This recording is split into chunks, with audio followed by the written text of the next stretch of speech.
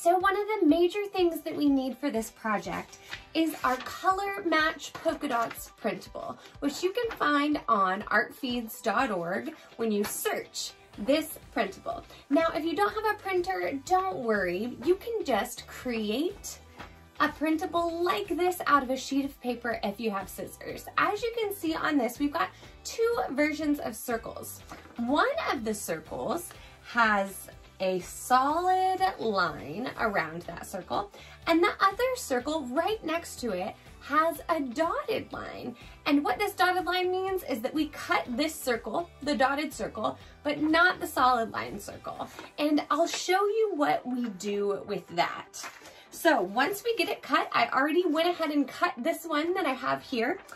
I decided to grab a book that I like. This is Hope Kind Love Gaga. This um, Art Feeds was featured in this book and I just really liked the cover. Lady Gaga's foundation started this um, book to talk about different nonprofits that are doing good in the world and Art Feeds was included and I also just love this cover. So you could find a book, a magazine, a painting, a drawing, a print. I could use these posters behind me if I wanted to. Um, and what we do is we lay down whatever we choose and use our color match to lay on top of it. And then what we'll do is try to recreate the color that we see through the circle in our solid circle here.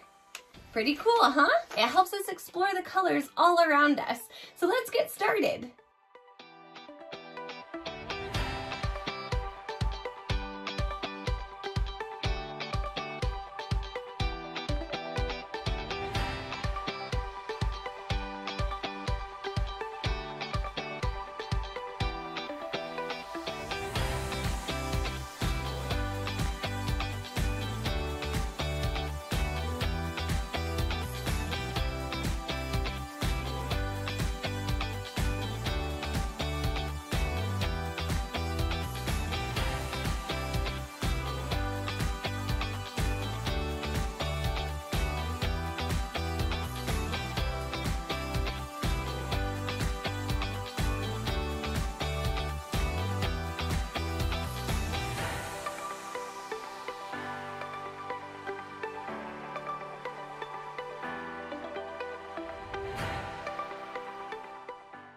My goodness, I loved mixing these colors together. Let's take a look. I used my favorite iHeartArt supplies from the Art Feeds Art Pack. We've got crowns here and watercolors. They both have really great colors to mix together.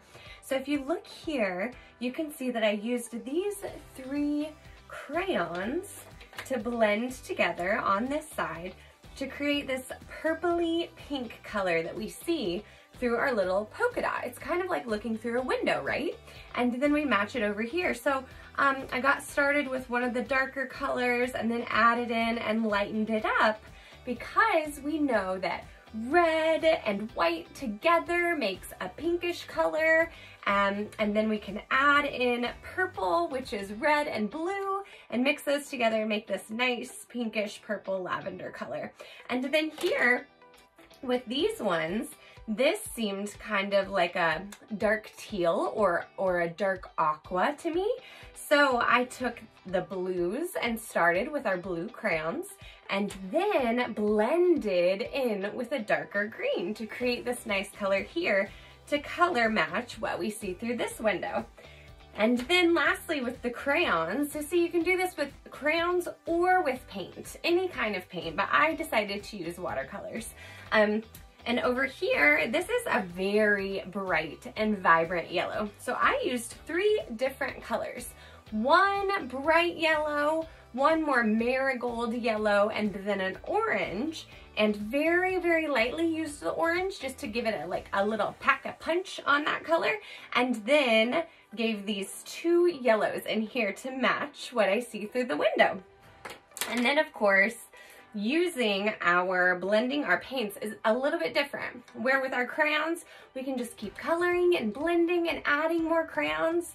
It is a little bit different when we're using our paints and mixing them together. So on this top one here, as I painted, you could see I started with an orange color because when you look at this, it just looks kind of orange. But as I was painting, I thought, that needs to be a little bit darker. So I added in some red to make that a more vibrant and bright orange with a touch of red in it. And then here, this is a very light pink that we're looking at. So that is, what do we think? Just a very watered down red. We just use it very lightly in here and it makes a nice pink. And then in this bottom one, started with some blue and it needed to be a little bit darker. Much like our color over here that we use with crowns, I went ahead and added in some green.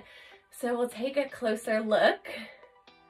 And it just makes me want to use this color map on anything. Um, I could do a book or a magazine or um, maybe lay down a painting and try my hand at that. And you don't have to just use one thing like I did here. You could match it to several different things. The options are really limitless. So I would love to see what you create and how you explore color and how you match the colors in the world around you using your own art supplies.